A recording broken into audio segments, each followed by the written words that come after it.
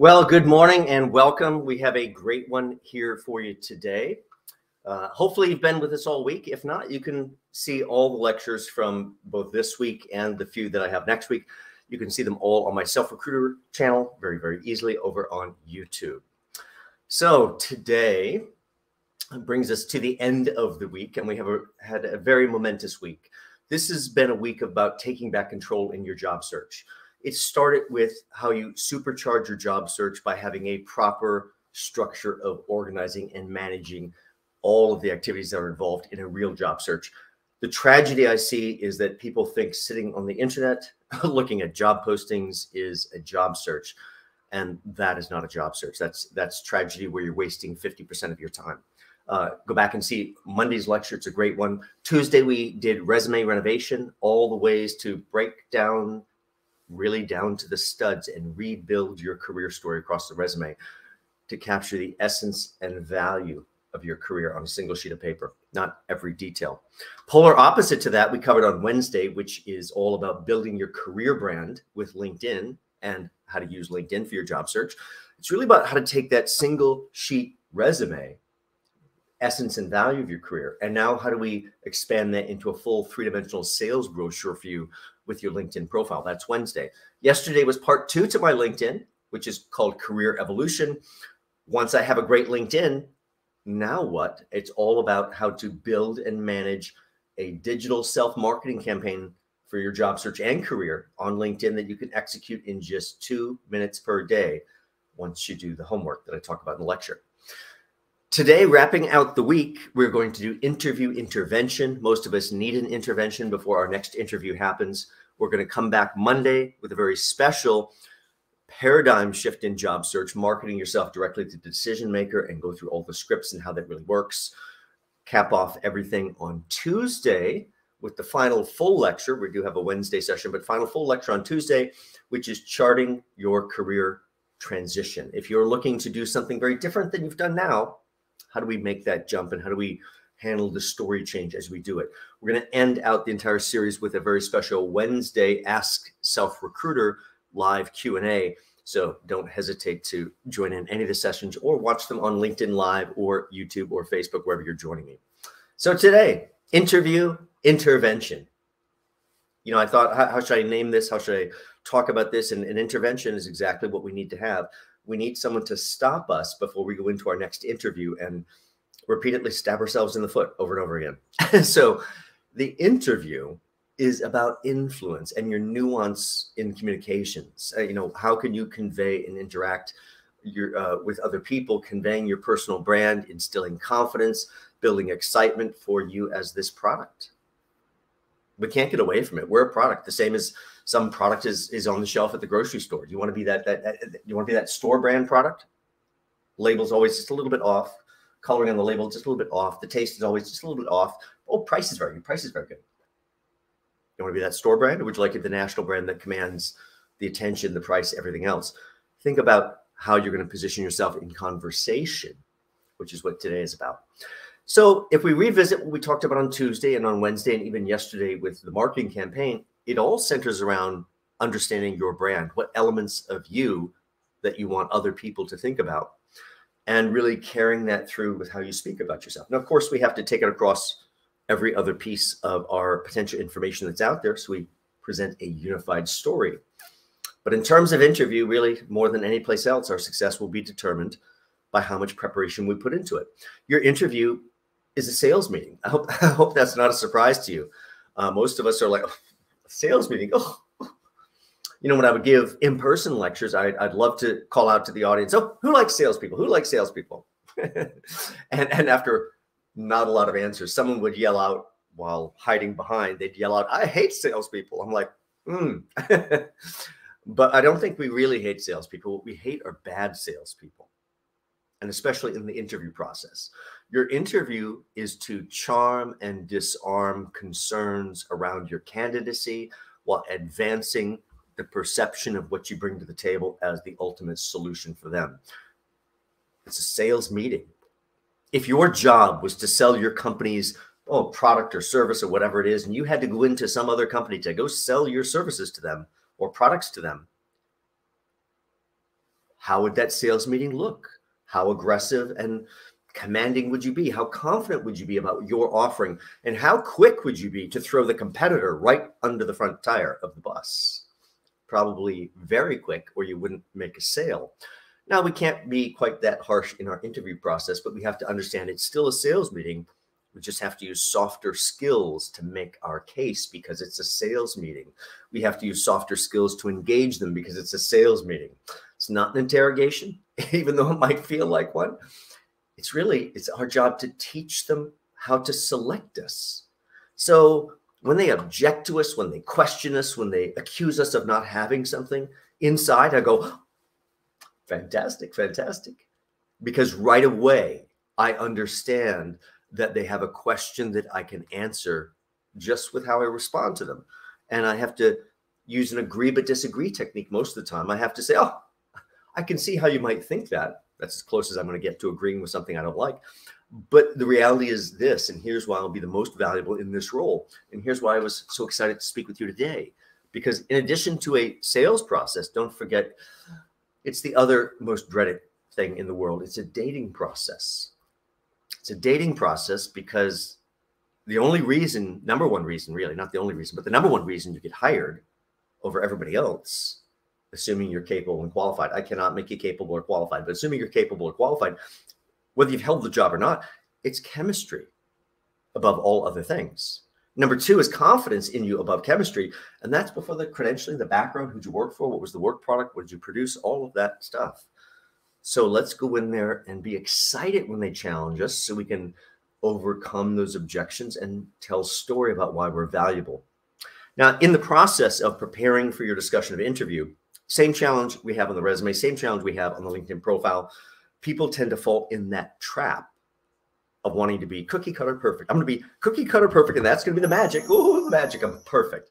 Great. Number three, I'll take number three. I'm gonna I'm gonna pay you less. Uh, you don't want less. Number, okay. Number two, number two, number five. I'm taking one of you folks, and I'm paying you less because you're all interchangeable.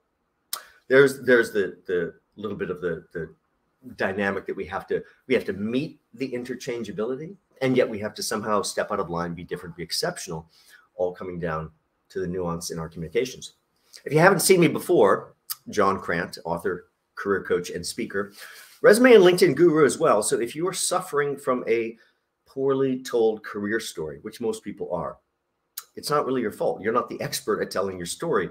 You lived it, and most likely you're so emotionally close to the story, you can't see the most advantageous way to tell it.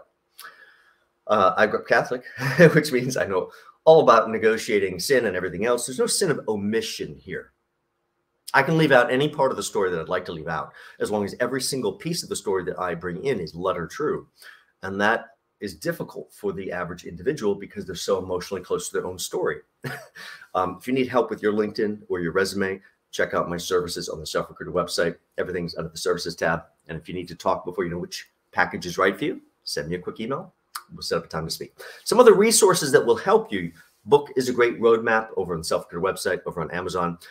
Really help you in all stages of your job search and challenges that you get into, and really teaching you how to think out of the box, which is what we're really trying to get to. Another resource over my Self Recruiter website, halfway down the page, there's a very special version of my LinkedIn profile where you can see me and the slides large, adjust it any way you'd like. Really, you can use that as a start and stop tutorial while you build a better and better LinkedIn profile. Of course, you can click through on my LinkedIn, get some uh, different articles that will help you in various aspects. Well, let's get into today. Self Recruiter is the umbrella for the entire series. It's really the concept that will help you manage your career in a much better way. And it's about expanding your network in a very different way, which is really the proper use of LinkedIn and keeping one eye on the toughest competitor imaginable because it's not really as easy as oh just see the job go after the job i'll get the job. Maybe i'll get the interview absolutely it's great. And then what happens? Well it doesn't tend to really be that easy. There's all those other people doing that same thing that you're doing hitting that darn button. Now to be clear if you've listened all week you've probably heard by now i am not a fan of applying online for a job. In fact when my clients go oh i have a job i want to go after i'm like great great don't apply for it. What, what, what? don't apply for it. What Does this even make sense? Um, when you apply for it, where's it going? to the HR department in almost all cases. Now, would you like to work for the HR department? That's great. That's your decision maker. You're headed the right direction. For the rest of us, you're really allowing yourself to be ruled out of the job by someone who really doesn't have your background, who is also juggling the same evaluation across 10 open jobs at the same time, and they don't have your background. So it's a quick cursory look, and I don't really understand you. Are you going to plan your your career future like that? Well, you might as well stop at the bodega to buy a lottery ticket to plan your financial future that way. But if you got yourself, found the courage to get to the decision maker, oh, I know it takes a little bit of extra, not that much extra, a little bit of extra. It's in the lectures all week. Get to that decision maker, 90 second conversation. They know exactly why you're right for this role or not. So think about all that in the process. But uh, lots earlier in the week that will help you get past this unhappiness. In terms of interview, the unhappiness really comes from us falling in the trap of, of usual customer expected and not thinking out of the box in unusual, unconventional ways. Whatever rules don't work for you, just change them. 20 questions, 20 answers. Well, that's not going to work very well. So, yes, I'm going to get the 20 questions, but I'm going to begin to answer back conversationally, draw them in. So we're not just question, answer, question, answer. I have to build a relationship. They have to want to hire me. They have to want me as part of their team. They have to desire this product. Now, here's a quick look at most of the competitors out there.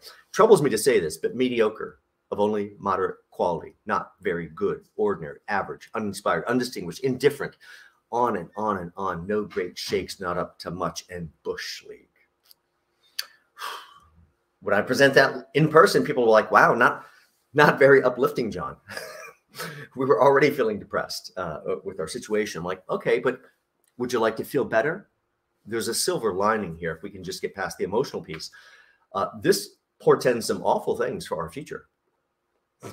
we need to change this trajectory, but I can't fix that. That's too big of a ship to turn. But if you understand this, what do you have to be? Little tiny bit better than mediocre, and you're ahead of most people already all you actually have to do is put a little heart and soul into whatever your function is, and you'll naturally be the top one, two, three percent, rise right to the top like that cream. So don't be mediocre and put a little passion in it. By the way, passion does not require payment. If you're unemployed and feeling like down in the doldrums now, I, I get it. I get it. But but passion for your field, passion for what you do doesn't require payment. I am clearly not being paid today and I still have lots of passion for it. So really apply your gusto and your expertise and fall in love again with your own career story. Let the baggage that we all have fall to the wayside and let's put on those rose colored glasses and get ready for the interview. So as we get ready, we have to go back and assemble our greatest collection of stories ever just because we say stories, they have to be absolutely true. So let's be be be ready about that. But we have to get these stories in a way that is ready to be in shape and be shared with others. How can I tell this story where I somehow put them in my shoes, looking out of my eyes, having the experience? It was a very different outcome. So as you prepare for your interview and prepare which stories will I tell when they want to know about this skill or how do I manage people or tell me about my project management, whatever it might be, they might ask you about. We have to prepare for in person. Is this telephone? Is this video, Zoom, Meet? All those things are on the table. Well, first thing to remember is don't answer questions, even though that sounds like I'm going to be adversarial. Well, I'm going to answer their questions, but I'm going to answer them in a way that draws them closer to me rather than maintains the wall. Maintaining the wall will not get you hired. I'm here to persuade. So I'm using the device of the Q&A really to position and sell myself. That also means you need to learn to answer like a good politician. I don't even know if there is such thing as a good politician, but maybe maybe a politician that's good at politicking, which doesn't make them a good politician, may make them a bad politician. But Tim Cook is a great example. Tim Cook is running Apple right now. A few springs ago, he was giving a talk to a college audience. This was not a commencement address, but to a college class. Uh, everybody had their their little devices and did, did, did, did, so yeah, you can pull a video on this. But he's giving a talk, and someone asked him a very inappropriate question in front of everybody, and they're like, "When is it okay not to listen to our professors?" well, a good politician or a politician that's good at politicking understands when not to answer the question asked and when to rephrase it. And Tim, without even a missed step in breath, said, You know what I think you're asking? Hmm, love that technique. You know what I think you're really asking me is when is it okay to uh, uh, follow the rules? And, and, and, and, or when should I follow the rules? And, and, I mean, I, I think he should rarely be following the rules. I think he should be writing the rules, or you're never going to get to what you're dreaming about. And uh, that may or may not have been a popular answer to have the professor here, but but boy, that's a perfect rephrasing. So understand you sometimes ask the question you wished you were asked and choose just not to even hear the question you were asked. Be careful because you know that can paint you as evasive. So you have to be very very skilled in how you practice that.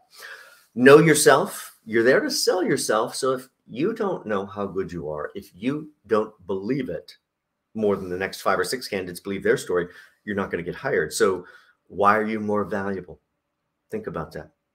Now, secret you may not like is it really is down to chemistry and confidence. There's no no two ways about that. I wouldn't consider anybody I didn't consider capable or qualified. They don't have to have held this job before, but I do have to see them as capable or qualified, or I would never even speak with them. So that's not actually a criteria for hiring, even though it seems like it. I wouldn't let anybody into the room essentially that didn't meet that bare, bare minimum. It comes down to the chemistry and confidence. I, I, I have a team that exists. You may be the absolute best, but you know, number two over here, oh, they're a perfect chemistry fit for my team. And that is the part I can't invent. I would have loved to have hired you, but I'm going to take this one over here and you're number two now, even though you're number one. You came in number two. I bet you felt like number two, and because you, you forgot you're a winner. If you come in one, two, or three, you're already a winner. They just didn't select you. You have to think about the engagement piece, which is a lot closer to this engagement piece. What did we miss? Where could I have made better connective uh, uh, bonds with the team? Maybe I didn't evaluate how my chemistry worked with the team. Well, I grab a little tissue here. Sorry for that. Um, you know, all those things are things I have to be thinking about. So as I prepare the different parts of my background to talk about, um, yes, I have to be capable and qualified, but if I if I'm seen as trying to prove that too intently, boy, that really undermines confidence in me. Confidence and chemistry are the two reasons they hire you. So let's balance our story and don't be too needy in the amount of pat on the back credit that you get. Um, there's a power in softly letting some trinkets of deliverables come out without needing to go, look what I did. I was to the rescue again. We have to think about all that kind of overhype that works against us. Now, why are we interesting and what makes us tick? Probably the reasons you're going to be hired could have something to do with what you do professionally, could have nothing to do with what you do professionally. Uh, the, here's a little bit of a paradigm shift, a fundamental shift, a change, a metamorphosis in, in how we approach things. But I want to know those things because I want to get you. You know, my my talked about this during the week. My Instagram is is very important to the overall strategy of what I present, and yet it's so important. By the way, it's a drop down menu on my website, my self recruiter website. One of the drop downs is Instagram. That's usually an indicator that somehow this person thinks that's important, and yet you go there and there's absolutely nothing about what I do professionally. What is it? It's, it's me hiking up the Hudson Valley or, or, or climbing Half Dome out in Yosemite or or almost dying in the desert two and a half years ago um, on a hike at 108 degrees, taking a wrong turn up on the plateau, which added two more miles in the sun, heart rate out of control for the last hour. Didn't think I was going to make it back. Um, everything on my Instagram is about taking on challenge, which also affects everything that I do here. So uh, uh, they're all related. Ding, ding, ding. um, we have to think about that. In terms of how you're going to tell your story, if you've done the work earlier in the week to reinvent the resume, reinvent the LinkedIn profile, even yesterday's work to think about how you're going to showcase certain skills through what you share, all of that is content potentially for your discussion, which you're going to filter through a singular question. Why is it going to be the best business decision they'll make today if they choose to hire me? And the things out of your story background that rise to that level, not the ones, oh, I love to tell this, love to tell that. That's great, but put it up on the shelf and, and Let's pull the ones that are important to the front. Best business decision ones. Let's talk about those things that will help not only convey that absolutely I'm interchangeable, but I'm so much more. I have better skills. This all comes out of your nuance, your ability to use your soft skills. That's the emotional intelligence quotient. All those things that you see up here that I don't really have to read for you, but look at those last two on the list friendliness and optimism. I'm so optimistic, Sagittarius, by the way. I'm so optimistic the sun will come up tomorrow, even if it's a nuclear holocaust. I, I sure hope it's not. Sure hope it's not. But that sun's coming up tomorrow. You have to take this energy with you. Your job is to persuade them. Their life gets easier if they hire you. Their life gets better if they hire you. It's all about influence. So make sure you keep enough of that conversation about them. What's going on with your team? What would you like to see different? You know, as I project yourself, as I step into this role, now they visualize me stepping into the role. As I step into this role, Jack, Jim, Jill, you know, uh, one thing I'd like to ask you, of course, I've done all my preparation. Can't let them think you didn't prepare. You know, I've read through the job description, I've looked at competitors, I've done some analysis, but I'd really like to hear from your perspective, your opinion. Stroke that ego. You know, as I step into the role, what do you see as most critical to get control of in, say, the first 30 to 60 days? Stay away from 90 days. That triggers something totally different in the brain. 30 to 60 days, they'll automatically regurgitate to you what's on fire, what's about to derail, what needs handling immediately. Those are all the things they would like the person to have. If you've got background in those, oh my gosh, let's let's go ahead and talk about it. Well, let's back up a little bit and talk about preparing for the interview itself. Don't forget there's video interview techniques coming up toward the end. But as we prepare for the interview itself, um, I have to warm up my audience. And to warm up my audience, I have to use LinkedIn. So if I have a, let's say I have an interview on Tuesday at 10 a.m., fantastic. It's Friday. I have time. Love it. So not only can I prepare the answers to my questions and everything else over the weekend and rehearse. Is that a dirty word? Rehearse? It's called preparation. You wouldn't rehearse before an important sales meeting where you had to sell the potentially number one client for your company? Of course you would. Same thing here. Why wouldn't we do that here? So what we'd like to do first off is begin to warm up that audience, especially as they're going into the weekend where they might even look at our materials just a little bit more than the busy weekday.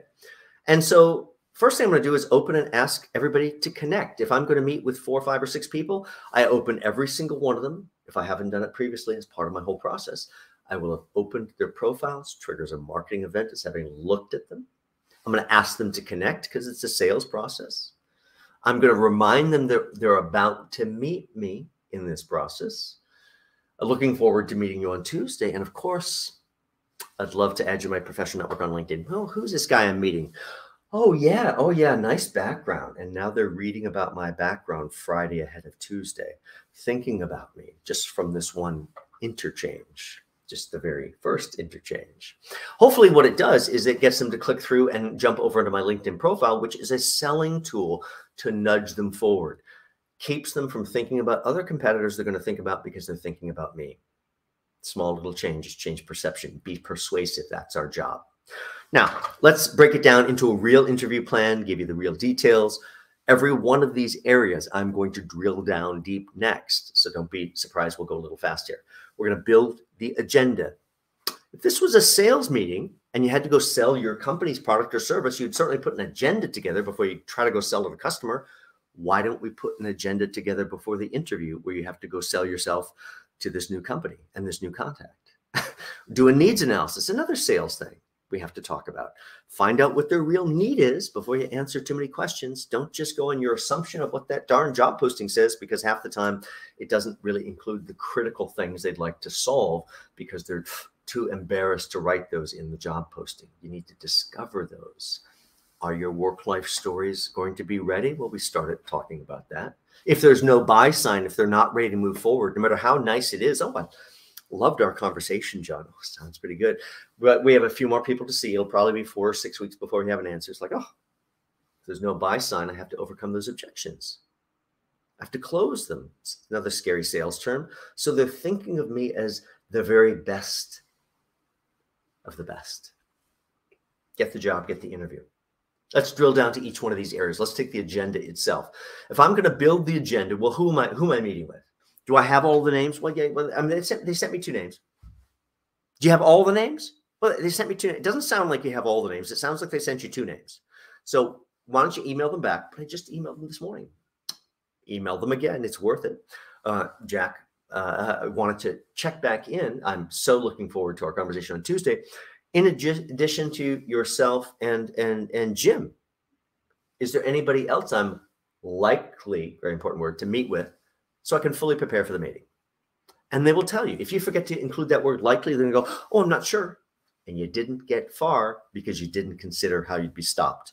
But if you include likely, they're going to go, I'm not really sure, but probably, well, well, Janet will certainly be there and probably maybe one or two of your peers. Okay. I can look up Janet on LinkedIn and figure out who that is. I can look on LinkedIn and see who my peers are. Oh, there's six peers. I'm going to meet with one or two of these people. I have to plan on building chemistry with all six because I don't know which of the one or two I'm going to meet with or it could even be more, or the others could be listening in on a recorded version of my interview later on. So I have to think about all of these things. So, how am I going to build chemistry with each one of these? Which person needs to hear which career story that would make them jump out of the chair and I get their vote? I have to get each person's vote. And it isn't necessarily the same conversation or story I have to have with each to get their vote. You have to be very perceptive. What will make them jump out of their chair? What else do they need to hear?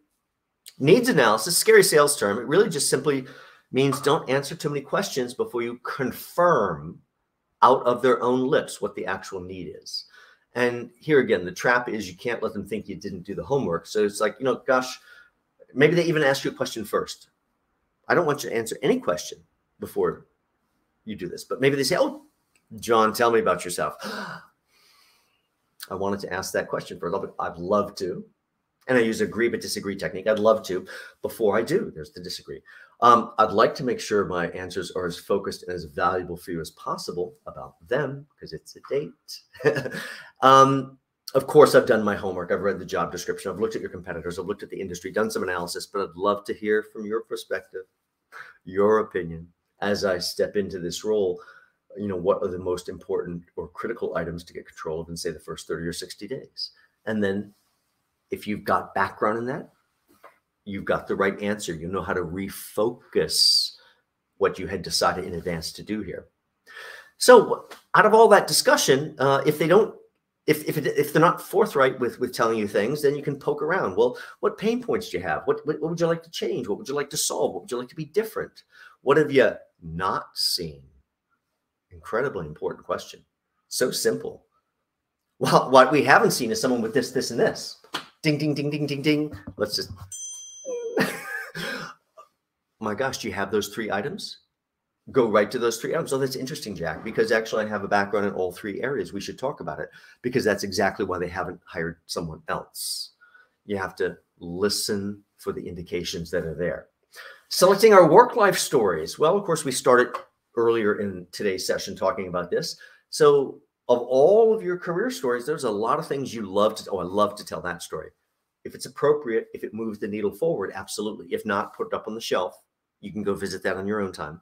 So, which stories illustrate a certain skill or a value or an interest?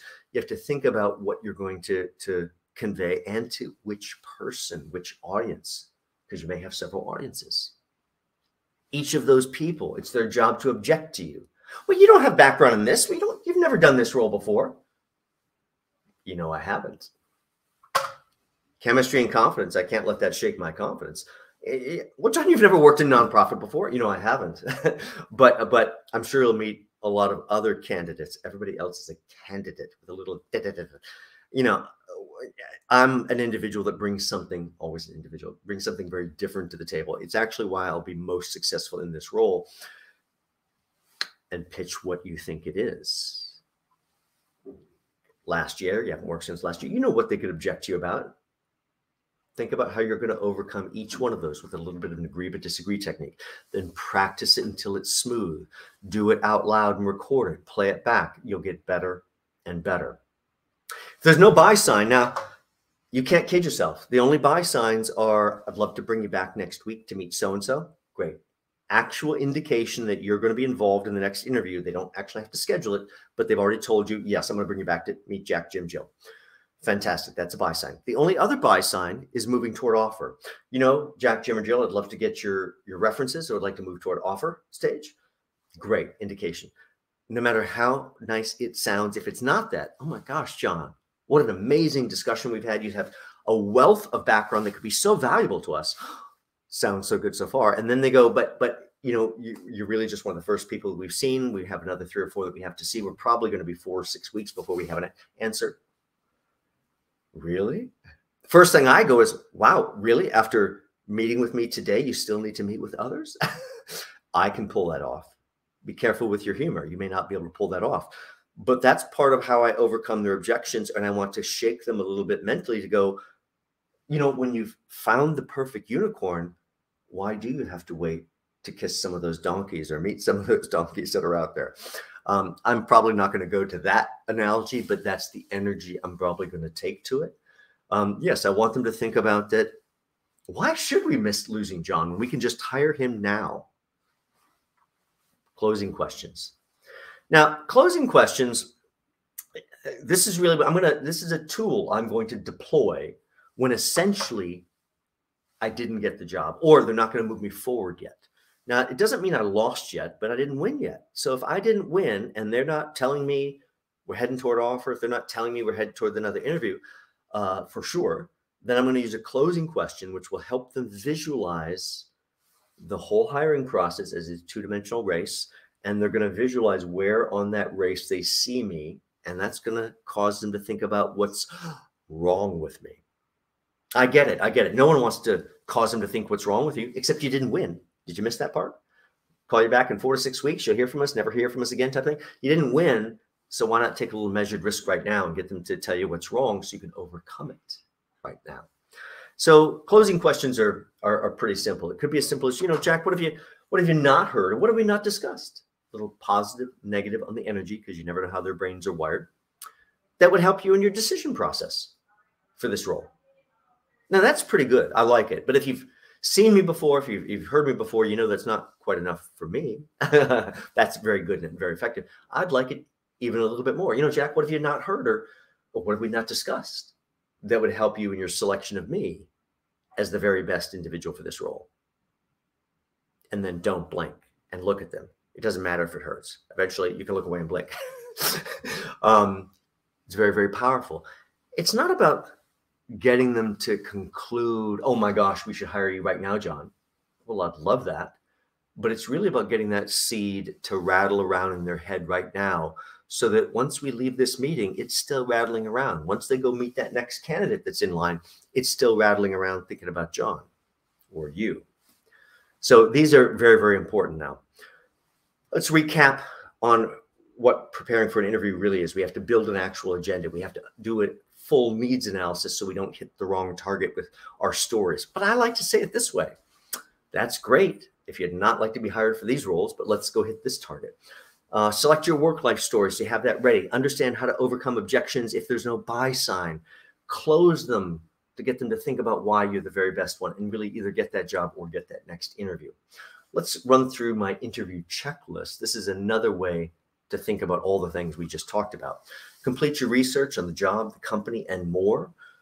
Gather up as much as you can learn about company culture. But you know what? You may not even really discover that until you're really working there.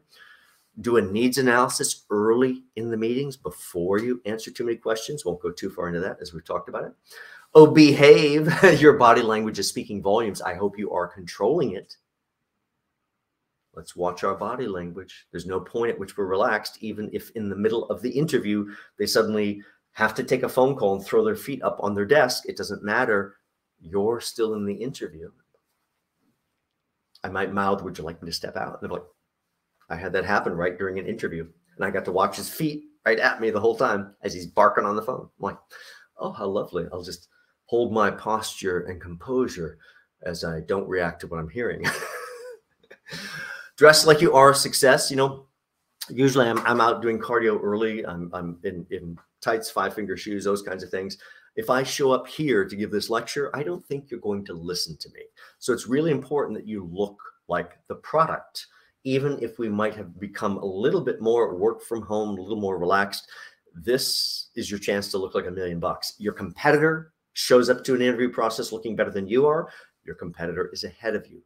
Don't let the way you present your dress rule you out. Are you listening? Going to give you so many things to, to think about. You're going to forget to actually listen. You have to actively listen and not only hear the words that are said, you certainly have to hear all the words between what is said and the and sometimes it's the opposite of what they're actually saying. Hear the reality. You're there to sell yourself. Yes, you're there to evaluate, but don't let them see you evaluating. You're there to sell yourself so that if you get to the interview end of the process and you like them, you want them to have liked you also, which means they have to see that you desire them. It's a date. Would you like more money? Gosh, let's teach you how to get more money. By the way, there's nothing wrong with wanting more money. I mean, I'd like more money too. Um, here's how you get more money, and nobody likes this. Don't talk about money. My clients go, but, but when do I? Don't talk about money. if you'd like the very best offer possible, it is your mission in life to make sure the subject of money never comes up if possible. So I have my little feelers out. I even get a sense that two questions from now, you're going to ask me about money. I have to inject such a compelling question that's distracting over here that you totally forget to come back to money. This is very, very possible, very, very easily. I have a client that's English as second language that I've helped over the last 10, 12 years and they have moved from one absolutely stunning job to the next absolutely stunning job an employer. Absolutely till now you pick up the resume and people go oh, they all hired you? Oh yes. Go after better and better and better brands that will eventually happen to you. But along the way there was one interview process this person went through. It was for a very large institution in town. Very bureaucratic back end to the institution so we certainly did not apply online.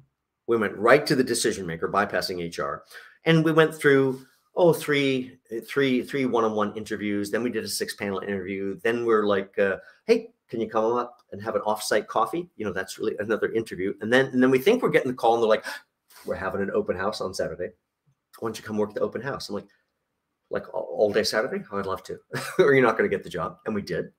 And then finally we get the call, and, and the manager is beside themselves going, You're not in the system. You're not in the system. We don't know how much money you're making. Masterful. We already understood that if they if they knew how much my client was making, there would never have been an interview. So they had to fall in love with my client first. And then when they heard how much my client was making, this is what they heard on the phone.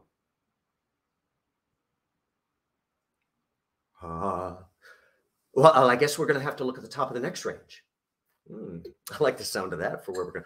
And we squeezed out like another $2,600, $42.41. I do not know how they get down to the penny in those organizations, but I'm pretty confident we squeezed out as much as we could.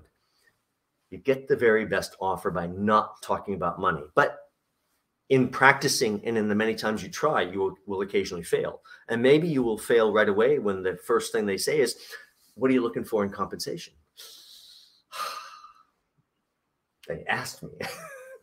um, so how you get around that, which you should avoid happening in the first place if possible, if you're really skilled.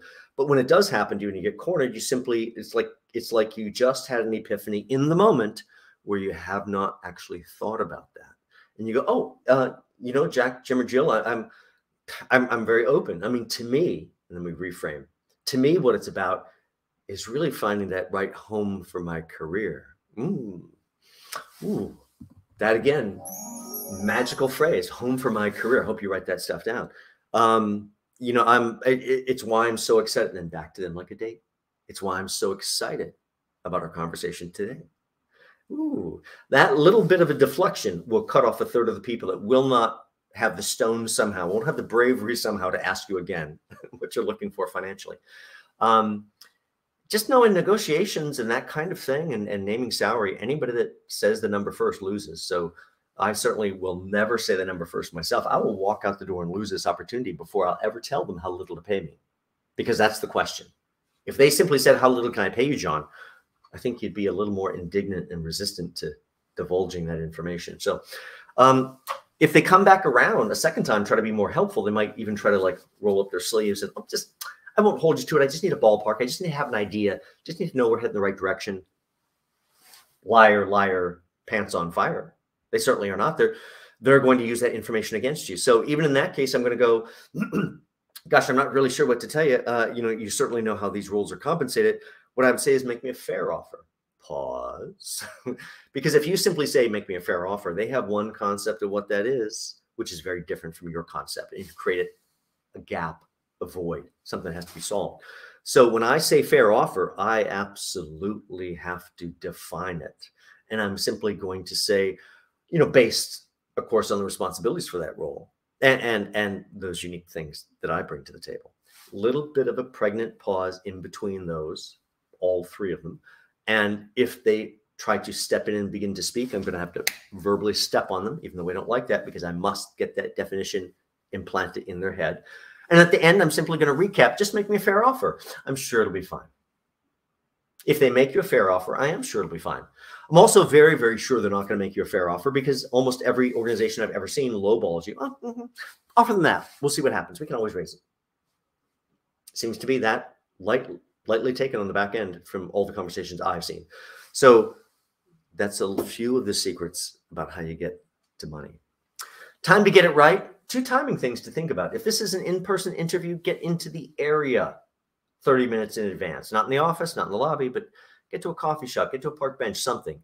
Go through your notes. Make sure you're, you're properly uh, uh, up. Make sure your caffeination is at the right level. All those things that have to be balanced. G review all of your notes. Close your notebook 10 minutes ahead of time and allow yourself just to be centered and present and trust that all the homework you've done, all the preparation you've done, all the rehearsal you've done will be available to you in the moment and then allow yourself enough time to get through the building security and the lobby security so you arrive in the office lobby, wherever floor that is, five to 15 minutes before your scheduled time. If you've got an 11 o'clock interview and you show up at 1035, that is not a good thing for you. John, your, your 11 o'clock is here. Oh, my day is already out of control. Now I got to come out there and say hello to you. I can't leave you sitting out there 25 minutes. And I have to put a happy face on and go, oh, hi. See you right at 11, a little busy this morning, but I can't wait for a discussion. Oh, you're already messing up my day think about being the release of all their problems, removing all the obstacles, uh, being just in time. Next step opportunity. You are there to be excited about them. You're there to ask for the job. I'm, I'm so excited. What's our next step? That's as simple as asking for the job. It's not a desperation ask. Now, the real homework, of course, is to sit down and now prepare the answers to the questions you might be asked. You have to write those out in story form in a way that you might talk to your dear oldest best friend you haven't seen in five years. So it's a very warm, congenial talk. Make a list of questions if you were the hiring manager. That's your area. Add these three self recruiter questions to it. These will help you make sure you have great question answers for all the rest as well. Tell me why I should hire you over all others that I see. Now, you're not likely to be asked this, but you could. It's kind of thrown down the gauntlet question.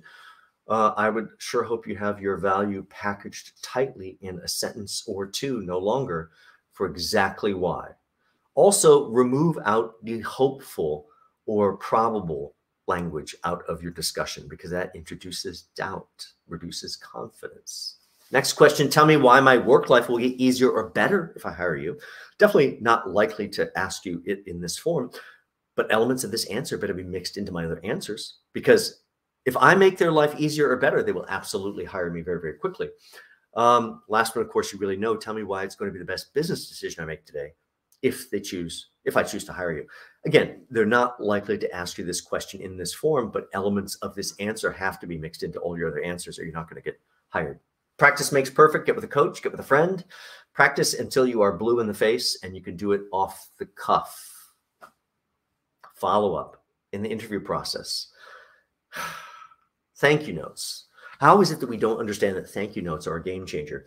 Almost no one sends a thank you notes sends a thank you note, and almost everybody else lies about sending a thank you note, which I can tell you from just doing a little bit of survey in my in-person uh, audiences. I'll, I'll say who sends thank you notes, who sends thank you notes, and a very large number of people will claim to have sent thank you notes. But having been on the other side of it, I can tell you almost no one sends a thank you note. It's a stunner. Would you like to be a standout? Simply send a thank you note. The guidelines are this simple. Within two or three hours for maximum effectiveness, you could have written that thank you note, primarily before you ever walked out the door for the interview. You could have saved it as a draft. It could be ready to go with a little bit of modification. There's no extra thought process to delay this. This is sales, sales, sales. Like to be a standout? Use your thank you notes to, to do some other things as well. Now, key to being effective here on thank you notes is self diagnosis. So as you walk out of that meeting, I'm not going home. I'm going to go to the nearest park bench or coffee shop or wherever it is. I'm going to do a debrief with myself. I'm going to let it all pour out onto the notebook, capture every tangential thought I'm having. There's a reason you're having those tangential thoughts, even though you're like, why am I thinking that? Capture it now before you lose it. And that means really debriefing is is like you think interviews are grilling cross-examine interrogation except it's a self one so so that includes the good the bad the ugly that includes thinking about um, i have to think about all those things that went well what didn't go well what would i like to change oh, what did i avoid talking about oh my goodness i have so many things that i have to fix here um, this is so we know what to repeat that worked well where was there opportunity to do something different and and last question in debriefing we're going to ask ourselves is the most important question. Want to take a look at it? If they don't move us forward, if they don't hire me, what's the reason going to be? This one does not require a thought. This one, we're like a funny bone. We're just looking for hit the nerve and reaction. You're training your gut on how to think about things went. And right away, your gut will tell you what went wrong. Why aren't they going to move me forward? Because I'm weak in area A. Okay, well, is area A important to this job? Yes. You have background in area A? Well, I've only worked on two projects. So did you talk about area A? No, I avoided talking about area A because I was afraid. and yet now you see what you've done to yourself. Okay. on the debrief, we can then go in and thank them. By the way, please do not thank people for their time. You have to be equal to every other human being you speak with. So do not thank them for their time. Thank them for something else that's meaningful. Thank them for their their insights, their discussions, the whatever else they might have shared. Excuse the tissue one more last time. And then after you do that, segue over to whatever you'd like to correct.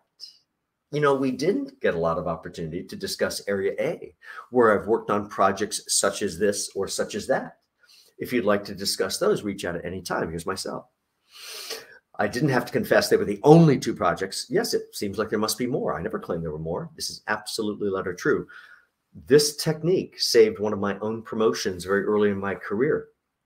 I was running the number one department out of 121 stores. I had the number one department in the number four store in the country, very big store. And as my store manager, general manager, went up to be country manager of Canada, I thought, well, John should just rise to the throne to be the general manager, as I'm the number one department manager. And went in for interview. This is before all my recruiting time. Went in for interview and all of that, and and did pretty well, pretty good with conversation. But I didn't have any of this recruiting training or background. And and uh, I get back to my my store and I call my little spy in headquarters. Always good to have a spy. And I'm like, yeah, yeah, I think it went well. No, no, no. They're in there arguing about you right now. Something about your vision for the store. I'm like. How could I have failed to communicate my vision for the store? Such a basic, basic thing. And so I thanked them for the great discussion, the insights they shared, everything else. And, and I said, by the way, we didn't get a lot of opportunity to talk about my vision for the store. If you'd like to talk about that, reach out on my cell phone anytime. Oh my gosh, I'm bullet pointing it out what I'm going to do. They're going to call me in a minute. Never, never, never called me got the job. He has a vision. He has a vision. Well, he can't do anything anyway. It doesn't really matter. He has a vision. I'm excited. Leave them thinking. I'm excited. What's our next step? All things being equal, just don't forget it's about chemistry. And you have to think about all the ways to build chemistry, engaging other people, making it about them, making their work life easier. So that is really the, the key to the interview process. It is selling you through a real and genuine presentation process but it has to has to work for them. Let's jump over to the video side. We can give you lots of tips on video interviewing. Now, video interviewing today has become pretty standard. A couple years ago, not so much. So, in general, interviews in across the board could be scheduled, unscheduled, in person, over the phone. We have to think about all those different aspects and the different opportunities each one might present us. And plus, in the in the COVID era, you know, everything really has moved toward online. And there's a benefit to that because now we're getting very, very used to that. So I want to, before I show you what I think your setup should look like, I'd like to just show you a few things I pulled off of Pinterest. Some people were, were grabbing some Zoom conferences off of Pinterest. I'm like, oh, I love to look at that stuff too. Let's take a closer look. So remembering it's chemistry and confidence that win the day, this would not be a great way to show up to your, your interview. I don't see chemistry. I don't see confidence. I'm not even sure this person realizes they're in an interview and, you know, they're not interviewing to work at a baseball team or in a sports league. So that doesn't really work. Uh, chemistry and confidence win the day. Do I see it? Do I see it? I, I don't really see it. I don't see chemistry. I certainly don't see confidence. I see this person huddled down like, like a small little field animal. All I really see is that bright window out behind them. Um, can't really see too much of anything when all I can see is the background. Chemistry and confidence win the race. Do I see it? Do I see it? Uh, I don't really see either. I expect this person thinks they have the confidence, um, but I don't really need to see the beams on your ceiling. And I certainly don't need to see up your nose. so we have to think about angle is very, very important. If you haven't already figured it out, looking at where I'm standing. Yes, I'm standing. This is an entire hour of standing and presenting because it's important. Isn't your interview important as well? Next one we're looking at chemistry and confidence win the race. Uh, chemistry, I don't really feel it. You know, I, I'll give, I'll give it, I'll give, I'll give the vote on the confidence. I'll give the vote on the confidence until I take it right back because you know what, having this, this, this headphone and, and gamer mic, um, and, and and even that distracting image across your background really tells me that I suspect you actually don't have confidence. You're using other things to convey confidence. Chemistry and confidence win the race. You know what? I'll give them the chemistry. I'll give them the confidence. Problem is the framing here. I like the overall framing, but then we have this giant picture just behind his head and constantly getting upstaged as I'm trying to see what that picture is. We need them looking at you. Chemistry and confidence win the day. Do we see it? Do we see it? You know what? I'll give them the vote on both. I like it. I like the framing. I like everything I see here, except, of course, for all those little pictures on a curved wall, creating reflection. And again, it causes me to really want to zoom in, no pun intended, to see what is in these photos. You're getting upstaged again because we didn't think about it. Chemistry and confidence win the race. Do we see it? I actually see them both here. But I don't think the Princess Leia headphone buns really do much for you. Oh, but I like to listen on headphones. I get it. I like to listen on headphones too. Do you see headphones on John today? No, because that doesn't give the right presentation. So even though it might give you better sound and you can hear better, don't wear giant headphones. It works against you. Chemistry and confidence win the race. Do we see it here? Do we see it here? I do see the chemistry. I do see the confidence. Let me comment on that picture. Obviously, this is a stock photo. We can spot a stock photo pretty quickly all the time. But you know what? They did a clever selection of the stock photo that gave them depth without distraction. They're well lit, so they're very three dimensional themselves. This person does quite well, but I wouldn't be wearing those medium headphones either because I'm still thinking about your headphones versus how wonderful you are. Chemistry and confidence win the race. Do we see it here? Do we see it here? I do see it here. And actually, this is the best out of all of them. Does it accomplish everything I'd like? No. I still see those little wired headphones. I get it. I get it. You like them. And they're probably the best choice if I had to have them. But again, we're a little too up camera. The framing is nice, but not quite fully lit the way we might like on the one side. So those are all. But if all things were equal, which they never are, this would be the winner. Let's go over and show you my exact setup. This is where I'm standing right now. Remember, your video can, your, your interview can be across multiple platforms. You're going to have to get technologically uh, ready for each of them. Well, first, let me show you my other half's uh, remote work setup. As we've all had to adjust, here is the one table placed up against the front window in the main room. And uh, their eyes are not sensitive to light and they like to stare right at that bright window. And doesn't that make an intense, nice, bright uh, presentation on camera? and that's a good start. You got to have great light, even if it's natural light. But there may be times when you need to adjust the light or the coloring of the light or your skin doesn't look right. Most of these color rings that exist also have uh, temperature color adjuster So it can go a little blue, a little red to balance out whatever the camera is doing to our face. Notice that we very likely need to elevate our computer. Your camera needs to be at eye level. Your computer's camera is not at eye level. I'm using a separate camera just above my computer right now. so if you're using the computer camera, that has to be elevated, elevated, elevated to get up in the right spot. If you'd like to sound great, you're also going to need to have a condenser mic. Now, these are not very expensive. Uh, it may seem a little over the top, but my, my mic on my computer is pretty good. Probably is pretty good. You want to roll your computer, your, your career future on pretty good? Or would you like to sound great? So this is the exact mic that I'm speaking on right now, condenser mic. Um, just stands there and captures great sound, fills the rest. Now, if I were to turn the camera around and you could see what I'm seeing, this is what you'd see.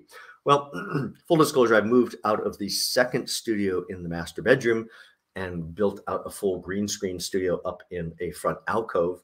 So I'm standing in a slightly different spot, but same setup. I am facing my ironing board. It is stacked up with very hardy boxes, and my computer is up in the middle of the air. And I am surrounded by three gigantic light boxes on three sides, just like you see here. Now, even though my other half's eyes are not sensitive to light, mine certainly are. I cannot imagine staring at the front window, you know, out into the brightness. Uh, I can't imagine staring at these three light boxes for an hour. And yet, somehow, when the camera goes on, all that concern disappears, at least for the hour. So, whatever discomfort you have, you need to get away from. Make sure things are at the right height, make sure things are lit. If you need a green screen, well, this is my secondary studio in the master bedroom where I first put a green screen right on the wall. Now I'm standing in a front alcove where the entire thing is painted as a studio. It makes it much, much easier. Um, you want to look great? Yeah, you have to use a background. You have to be cut out. You have to put yourself in a place uh, that you want people to think of you about. If I want people to think of me as the right person to be on television, I think this is how they need to see me.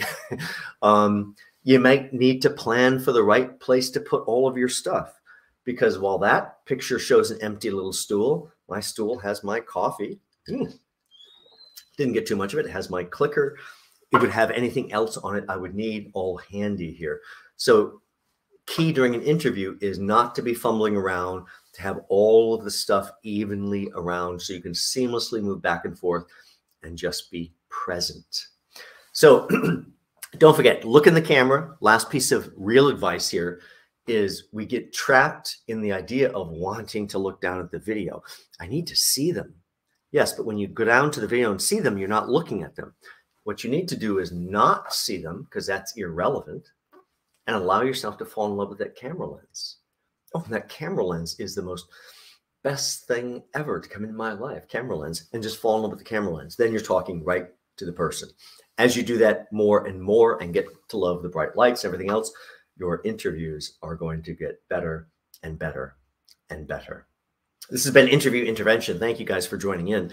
Don't forget on Monday, very special lecture at 11 a.m. We're going to do the paradigm shift in job search, marketing yourself directly to the decision maker. On Tuesday, 11 a.m., we'll be charting your career transition. So if you are done, done, done doing what you're doing now and don't quite know how to do what you'd like to do next, that's a great lecture for that. Capping off the entire week and a half series on Wednesday with a very special Ask Self Recruiter Live Q&A. If you're not getting your job search questions answered, send them in. Send them in to ask at selfrecruiter.com. That is ask at selfrecruiter.com. This is the charting your career transition on Tuesday, 11 a.m. Hope you come to that one. Uh, wherever you are, whether that is LinkedIn or you're over on my YouTube channel or you're over on my Facebook, I hope you do like, comment, share, message, hit the bell, subscribe, all that kind of fun stuff. And join me next Wednesday also for that Ask Self Recruiter. Thank you guys for tuning in today. Have a great weekend. Take care.